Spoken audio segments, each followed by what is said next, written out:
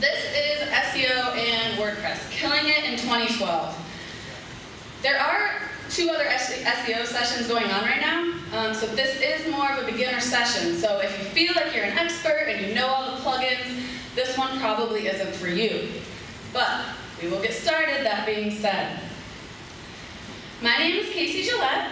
I am currently the Director of Online Marketing at KoMarketing Associates, which is a real company. Um, we are based in Waltham, Massachusetts. I have been in the search industry for about seven years. Um, and I put this disclaimer up here because I do love SEO. I also love Twitter, so feel free to tweet me any SEO question, marketing question, etc., etc. Let's get started. So, I want to start with what's currently happening in the SEO industry. Um, if you've been paying attention the past year, you've probably heard that there's a lot of updates taking place, right? You're hearing all these crazy things about things that were working prior are no longer working, um, blog networks, article syndication, penalized, over-optimization. Who knew you could even do that, right? So all of a sudden, these big companies and small companies alike are finding that this cute little penguin is shooting them right out of the index. Now, I don't want you to be too sad about it, too down. There is good news, right? So despite this stuff happening, Google is giving us some information. Uh, you know, they're sending us email alerts if our site, if something isn't working right, if there's indexing issues. If you're doing something spammy, they're going to tell you. They're also telling you these are the links we don't want. These are the links we do want. This is what you should be doing. This is the code you should be doing. They're giving you recommendations, right? So that information is there. Now, don't get me wrong. I still kind of think they're being jerks. But if they're going to offer us this information, we might as well take advantage of it. And what it comes down to is the same thing that I've stood up here and said the last three years. Best practices still work. So what can we do? Well, first and foremost, you're here because you love WordPress. You're interested in SEO. So guess what? There's a great opportunity for you. 42 million results for WordPress SEO. There's a lot of crap out there that's going to tell you what to do. So, I'm going to cover, you know, what are some things that you can start implementing and some different plugins you can use to deal with these issues. When you think of SEO, even people who don't know much about it, they know title tags, they know keywords. And that's where we're going to start. Why? Because it still matters. This still matters. Putting title tags on your site is still important. Creating meta descriptions and putting on your site, still important. Keywords, eh, not important, but you can put them on there if you feel like it's going to help you. And this is why. When you're looking at a search result, that top blue line, that's your title tag. And that's what's going to people see in the search result, right? And that's what's going to drive them to click into your site over someone else's. Same thing, the description is the part below it. Now, if you're not writing good descriptions and you're not writing good tag title tags, Google will start putting them in there for you based on what they find on your site. You don't really want that, do you? I mean, you want to create the message and dictate the message. Just a few basics to revisit. Title tags between 65 and 70 characters. Still the same, hasn't changed in five years, 10 years. Try to include a keyword, don't stuff it full of keywords. Um, and in terms of putting your brand on there, I'm a huge advocate of that simply because it's a all right.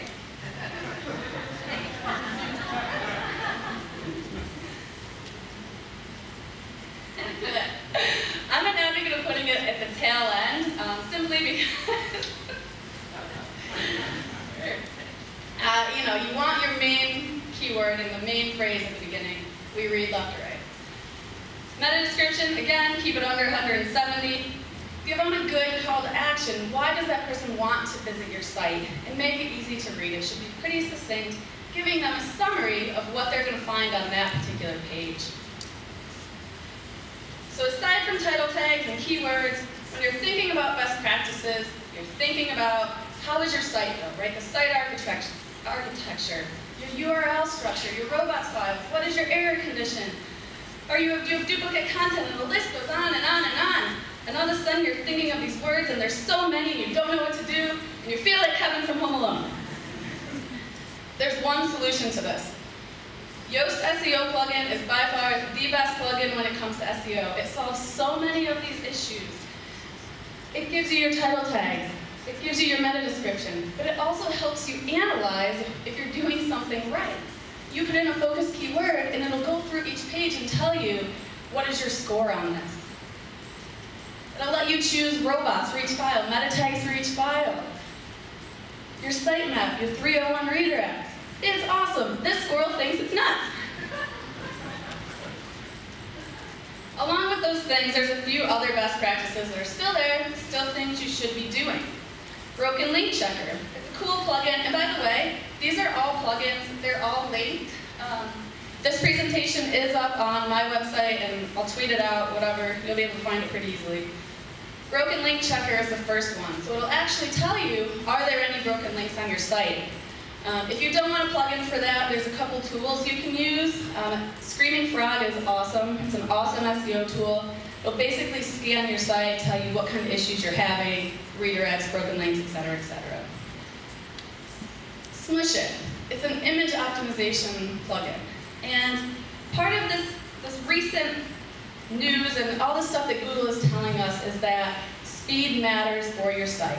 It's not really that new, we've all known it for a while, but they're really starting to push it.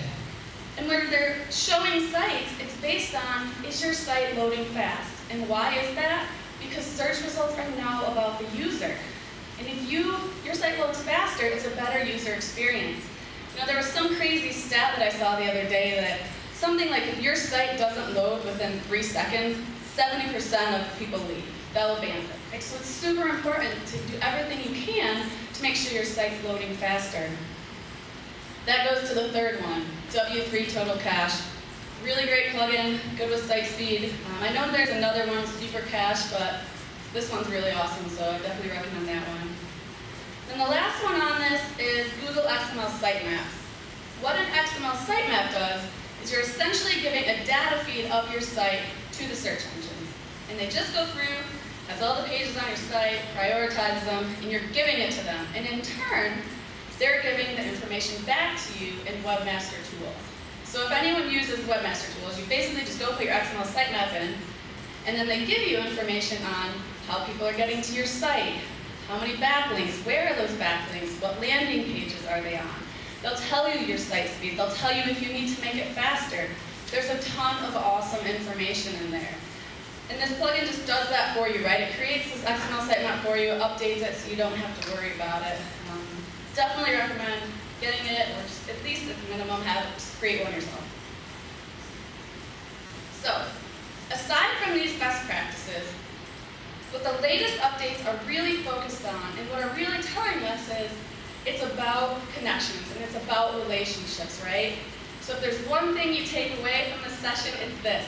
SEO is now about relationships, and the relationships that you have with the sites around you there's this whole thing about personalization happening.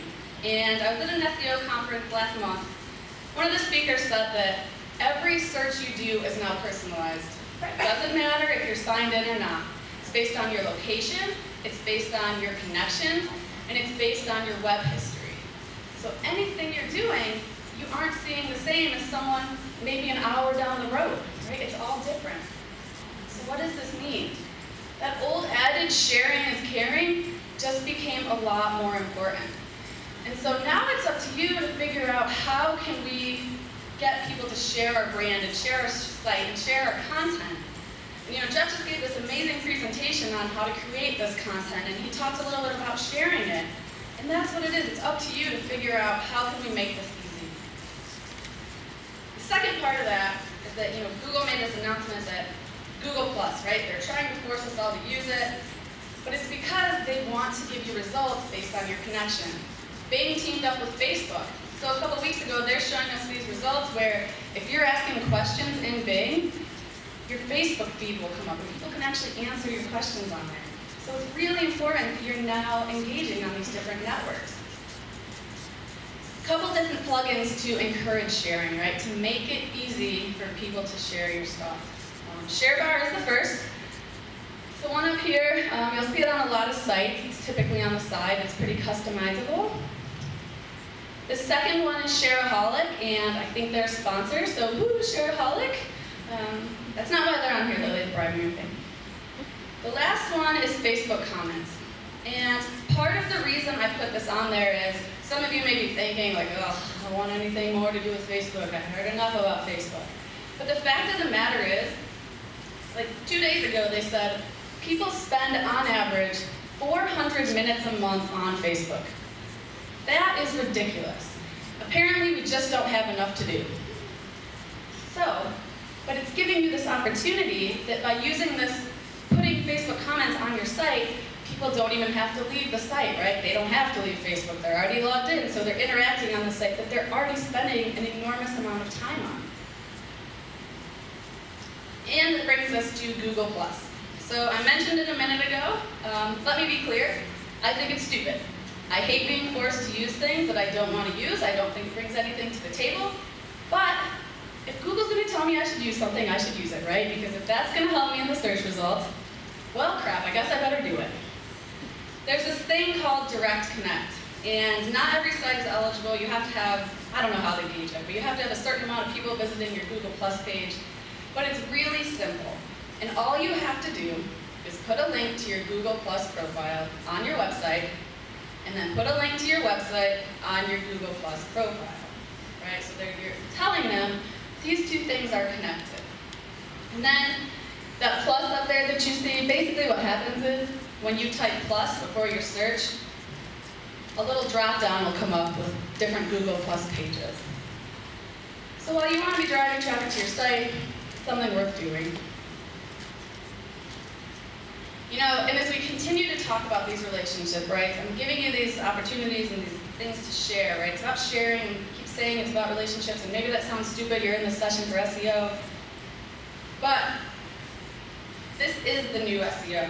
And so one thing when it comes to relationship is this idea of authorship and this idea of connecting with one another. So now you can tag things that say, I wrote this, right? Or so-and-so wrote this. And in the search results, you see something like this, where it's someone's actual face and it's telling you that they wrote it. And it lends some credibility. Um, Jeff mentioned in this uh, session before us, put an image with your anything you write, right? People are more apt to click on it. So you see something like that, you're more apt to click on it. It also means that if I know you, if I'm connected with you through Google Plus or Facebook, I'm more likely to see a result. So, you know, if someone I know wrote an article about SEO and someone I don't know wrote an article about SEO, Google thinks that I'd rather see the article from someone I know. And that's where this comes in. So there's a couple different plugins you can use to do that. Um, and there are these authorship plugins, and one is Author, sure, sorry, I have a hard time reading apparently. AuthorSure, and it lets you tag your posts with that rel author tag, right? So you can see a result if you just saw. The second one that I already declared my love for is Yoast, but if you're looking for just something, just an authorship plugin, AuthorSure will do it. If you don't want a plugin at all, you can simply add this tag to your blog header, and it, you know, this tag with the link to your Google Plus page. So, pretty simple, pretty easy to do, and definitely worthwhile. So you're in this session about SEO, and you're probably expecting to hear something about link building. And I'm not going to talk about that because it's its own session all in itself.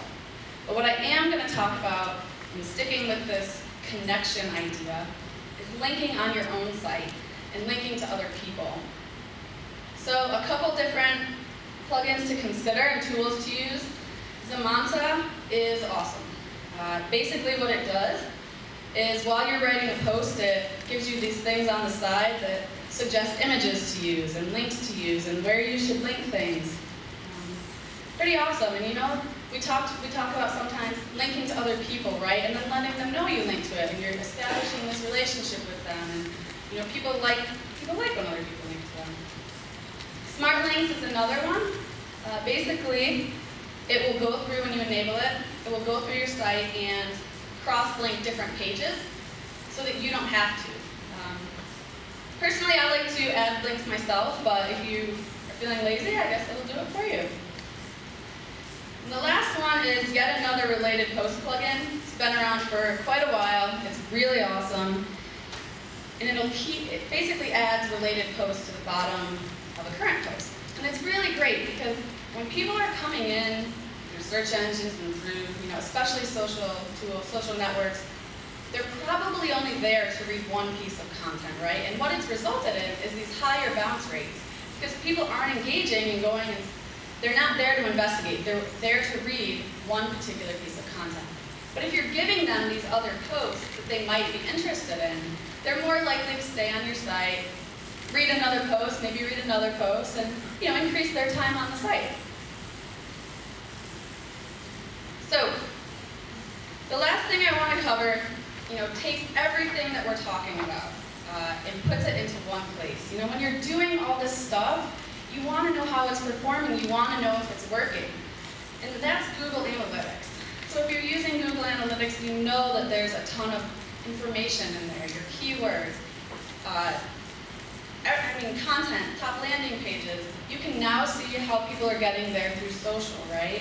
It'll show you conversions and so on and so forth. This is a plugin that's sort of uh, in addition to that. It'll take things like how many people are leaving, clicking on a link, right? How many people are exiting on a link. Um, and it'll start giving you that data. If you want to set that up yourself in Google Analytics, you have to set up events and track page views, and it's really confusing, but this will do that for you. Um, and it really is this awesome. And this is actually the last tool that I have. Um, it's sort of new, I think it was came out in like February or March. And what it does is it tells you where people are logged in when they visit your site.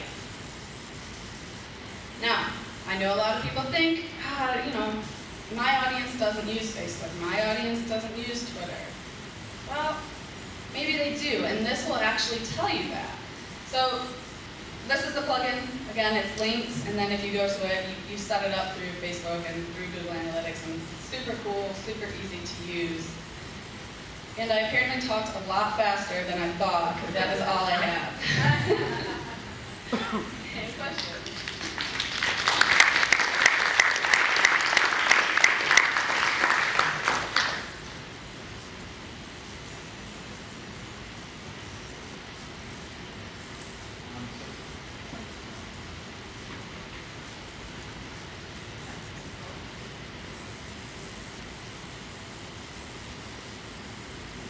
so much time to use review. Yeah, you want me to redo it? Definitely. Sorry about that, guys. So here's my question about SEO. Um, is there a tool, because I'm all about lazy. Me all right? too. I'm really lazy, so, um, no, I'm just keeping it real. So, is there a tool that you could analyze your competitors' websites and see what tools they're using? Because, I mean, I hate to say it, but if it's working for them, it's gonna work for you. And so start with the end in mind. So Um, is there a tool, and then the other thing was, can you talk a little bit more about local search, local SEO? Sure, sure. So in terms of tools, SpyFu is kind of a cool one. It'll tell you like if your competitors are bidding on specific terms. It'll tell you like what keywords they're bidding on. Um, I know that Raven Tools is another one. that really has a ton of stuff in it. Um, I don't know how much it gets into what tools or what other things your competitors are doing. I think it's more of a, you can look at that and figure it out, right? Raven Tools, R-A-V, like, like. like the bird, yep, R-A-V-E-N, tools. What's that? Uh, SpyFu, S-P-Y-F-U. It's also a good one. Um, I think I, I think they're both paid. I know that SpyFu has a free version. I think that Raven Tools has a free version, but Raven Tools is awesome. Um, SEO I don't know if ever anyone's familiar with it, but they offer a lot of really great tools. Um, Open Site Explorer will help you take a look at your competitors' backlinks, which is key, right? And and figuring out, you know, what are they doing. So it's Open Site Explorer. And basically, you just put in their link and it'll tell you, you know, where are they getting links from and where are those links going to. Um, in terms of local SEO, that's a big thing, and it's a huge thing right now, especially around like the personalization, right? So it's really important that you're creating this, the site that is specific to your location, and you're making sure you're using these keywords. Um, you know, a couple, I had this conversation with someone where it's like, go out there and like connect to your chambers of commerce, right? Make sure you're being a part of and doing, connecting in local events, sponsoring local events and getting on these local sites. Um, making sure you're in lists in directories like Google Places. It's a huge thing. Google Places just, they took Google Plus, Google Local, Google Places, and all just put it in their Google Plus profile. So it's all right there. So that makes that even more important. Um, yeah, I think, is that, is that enough information for you? How do you feel about the platform called Yodle? Uh, I don't know too much about it, to be honest. Yodle's a big platform where they host your website. They're actually, it doesn't do much for your site, but they have so much inbound traffic. They're basically putting your website and cutting and pasting on their giant website that has a gigantic amount of in, inbound links. I don't So think it's I like that. What? I don't think I like that. Um, We get a lot is of your, is it on your domain? But it's not your domain, Yeah, I don't know, that's why right? So, yeah, doesn't sound like it. I mean, if you're gonna create something local, right, create a page. Make sure that there's a directory that's specific to I'm, they drive that traffic. thing. Yeah, I don't know. I can't speak to it, to be honest. Questions, more questions? Still have 20 minutes. Um, I came with one specific, well, one of a few SEO questions related to WordPress. Uh, I had a question written down in my notebook and I still don't have an answer yet. Um, how do you prevent SEO or negative SEO effects from duplicate content that's related to categories and tag pages? So if you've got tag clouds and categories, um, I had somebody say, hey, you know, we did a search for duplicate content using the tool, we found this, what are you gonna do about it? Sure. So that plugin that I talked to that I mentioned, Yoast SEO actually takes care of that. So within the settings, you can go and make sure that your category pages aren't indexed. Um, and that so you aren't having those duplicate content issues. Um, another one is all-in-one SEO pack does the same thing. So it's making sure that you're not creating those duplicate pages from the category, from the author, from the date folders. Um, I mean, you could theoretically just block it in your robots, I guess. Um, but the only issue with that is depending on how your URL is set up. You know, if you have, if your URL contains all that data, then you're going to block that, which you really don't want. But um, if you just have the permalink settings set up so it's the title of your blog post and you're not pulling in those things, then you could just block that in your robots file. Or just add a, on those category pages, you could add a meta no follow, no index no follow. Hi, great talk, thank you. Um, If, I- if you're using Headspace or All-in-One SEO, is it easy to change to another SEO plugin? Yeah, Does yeah, it it's really easy. Do you have to look at all your other pages, or does it, No, no, it should keep the other stuff. okay, thank you. Hi, is uh, optimizing a blog post done the same way as optimizing a page on a WordPress site? Yeah, absolutely. So within each blog post, you know, you have it's almost a two-level thing. You have your main site, which you're optimizing for, you know, maybe what the overall keyword is, or the overall product or whatever. And then the specific post is optimized for whatever the topic is of that particular post. Um, so you always want to make sure that you're adding title tags, adding descriptions for your blog posts as well as your main site. Hi, um, the Google Analytics plugin that you mentioned, is that from Google or is it made by somebody else? It's made by the same guy who makes the uh, SEO plugin. He's like amazing, seriously, because he's an SEO at heart. So you know he's created these things to basically just make life easier. I have a question about, here. I have a question, what is the advantage of using a no-follow plugin on certain pages and not other pages? Sure. That. So it goes with, you know, you don't want duplicate content on your site. Maybe there's something that doesn't add any value, right? It doesn't add any value to search engines, doesn't have any value to users. Maybe it's like a login page right? So there's nothing on it but that login. So you may say to, you know, the search engines, look, I really don't need you to follow this. Um, I don't need you to index it. It's just for my users. There's no value to anyone in that. Um, what people were doing a couple years ago was trying to craft it. So like, they were trying to make sure that the link juice was going to the pages that mattered. So they were saying like, you know, no follow. Um, but that doesn't work anymore. So. Hi there, I sent you a balloon, did you get it? Yeah. Anyway, um, Thank you so much. I'm doing a post tonight, you know, I'm using uh, SEO Wayos, and it's a love-hate thing, because, you know, I get to the point where I've got green lights, and I want to get them all green, or as many of them green, and so my first part of my question is, you know, how, how much do I drive myself crazy every night? The second thing is, is I think I have the term wrong, there are these kill words, um, buy, that, things like that, and how important are they, and, you know, because once, once the URL is set for the post, then you're, then you're back to deleting it and starting all over again, and that, that costs me a hell of a lot of money, so. Uh, I wouldn't let it cost you that much time, to be honest. Um, you know, it's really what the post is about. You want to get across, you know, what is that post? And yes, you want like buy something, right? But at the end of the day, what you really want is what those target keywords are. So I would focus more on that than what the small keywords are. I mean, they're just kind of, you know, additives, right? Like making it read better. I have a question on uh, link building. Is it link building, links to your site still the most important thing for ranking? And how do you uh, promote more links to your site? Sure.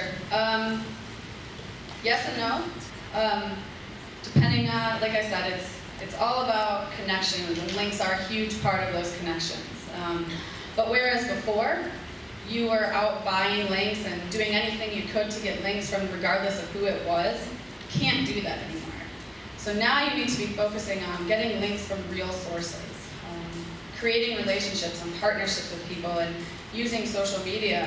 Um, you know, I just actually moved back to an agency, but I was in-house prior.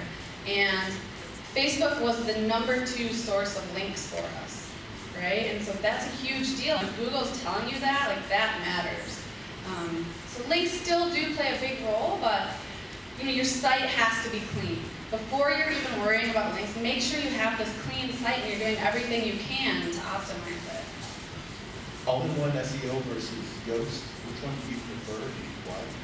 Um, I used to be a huge, huge all-in-one advocate, and I still like it, don't get me wrong. I just think that Yoast offers some more capabilities um, and is a little easier to figure out, um, especially when it comes to like the no index stuff and the robot stuff. I'm not a development development genius. I'm not even an okay at it person.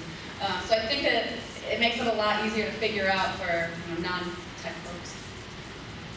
Uh, What are your thoughts on having one versus multiple sites? So for example, a medium-sized business, there's an enterprise site that talks about the industry. Uh, The CEO and the CTO may want, to be thinking about their own little blog sites. Uh, They might have a nonprofit side that wants to talk about something that's more related to that. So is it costing them more to have everything into one domain or splitting up into multiple domains? The only thing you're going to encounter when you split it into more domains is you're taking those three other ones, or however many others, and starting over. Okay? So instead of having this one domain that has all these links pointing to it and people already know the brand and are aware of the brands, you're splitting that up into four other sites who now have to gain that credibility. So, I mean, if you already have something that's working, I would just be adding different, maybe different sections of it. Okay, so you had mentioned that keywords are not really relevant anymore, and oh, I have the. Oh, no, I have, I get to explain that to my clients, so it'd be helpful to tell them why, so they're not. Meta keywords, I'm sorry. The Okay. keyword, no. Oh, yeah, sorry, I forgot that, one. that's Um. I I mean, there's a couple stories. Just Google, like meta keywords, Google, meta keywords, Yahoo. They basically all said they don't pay attention to them. Um, so they can be used for internal search. So I know some people still use them for internal search, like blog stuff. Um, but for search, like search value wise, all the search engines have said we don't we don't pay attention to this, just because people used to stuff them, right? So it used to be keyword tags that were this long, so. So it's just. Yeah, yeah, yeah. Hi, we were talking about searches will be different for all kinds of different people. So if everyone in this room did a search on something, it would come up with different results, Theoretically. theoretically. Yeah. So if you're trying to check like how effective your keywords are to see how you're moving up, is there a Yeah. you can put in your keywords and see like, oh, on the thousands today and like tomorrow Yeah. on five hundred? So yeah, if you are checking your rankings, and this is another thing, right, that as agencies, we have a hard time saying, because for so long it was, here's how your rankings are doing, and you moved up 20 spaces, awesome. But now, what they see may not be what you see. Um, so there are some tools, like I mentioned, like SEO Moz has a ranking tool, Raven Tools, SEO Moz. Um, and the tool that I mentioned, Raven Tools, they have a ranking tool as well. Um, you can try using the Chrome offers an incognito window. So it's supposed to take all that information, you know, your location and all that stuff and discount it. Um, doesn't perfectly. But yeah, it's, it's a tough issue and even, you know, even I'm having a really hard time saying to people like, okay, take it with a grain of salt what they are, but don't put all your eggs in that basket. All right, so I have a question for really non-technical SEO ah, people, which I consider myself to be. But, so if I was a solopreneur or a micro business or even, let, let me say, maybe I had a job, you know, sort of job, hobby thing that I do that I can make money. Wouldn't it be, make more sense for SEO to sort of find the communities that you're interested in, become a part of them, help the people in them, because givers gain, pull them into your site, and then blog just as much as you can, since Google values fresh and relevant content. You know, it could, and I know for a fact that if you blog 25 hours a week, you'll get to the top of that without learning all this Yeah. mishigas. Yeah, so uh, I actually have a couple friends who just started their own business, and they were kind of facing the same thing, right? We have this very limited budget, you know, they're bootstrapping it themselves, you know, where should we focus on? We want to do SEO, we know it's important, and, you know, my suggestion to them was just start writing, right? They built this site, it's optimized, they did basically all they could with it, but before you worry about all this other stuff, start writing, start start getting out there and being involved with sites that that are relevant to you, right? Like their market is entrepreneurs and small businesses. So get out there in those communities. Go to events. And that's how you, you start building those things and those links will start to naturally come. Uh, same thing, like, but it's about writing content in the meantime. All right, we have five minutes. Um, say I'm um, hired to redesign a site that is already highly ranked, um, but they want new content and they want to move it to WordPress, so it's not a WordPress site yet. How do you maintain the ranking?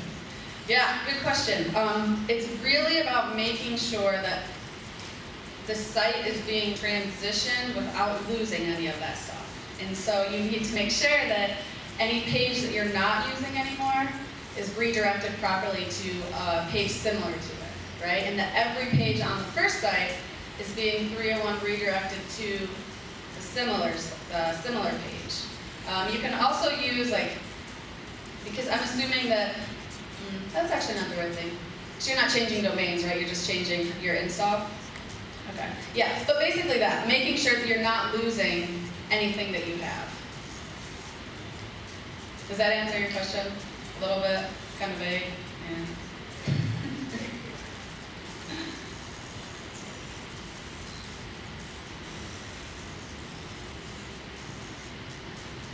Um, uh, hi, um, about the 301 redirect, um, so how long should you 301 redirect? Uh, if you have like static HTML and you're going to a WordPress site, um, should I let, keep doing that for a month, or a year, how long?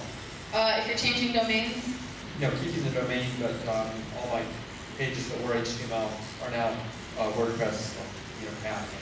Yeah, uh, well, I mean, ideally you don't, if you don't have to redirect, you don't want to, but, uh, in the meantime, I would keep them as long as you can. Um, make sure you change all the links that are pointing to that to the new URL. Um, that's the highest priority, but if you have inbound links coming to that, I would keep it up. All right, I think we can take one more question. Or we can just part ways. All right, thanks, everyone.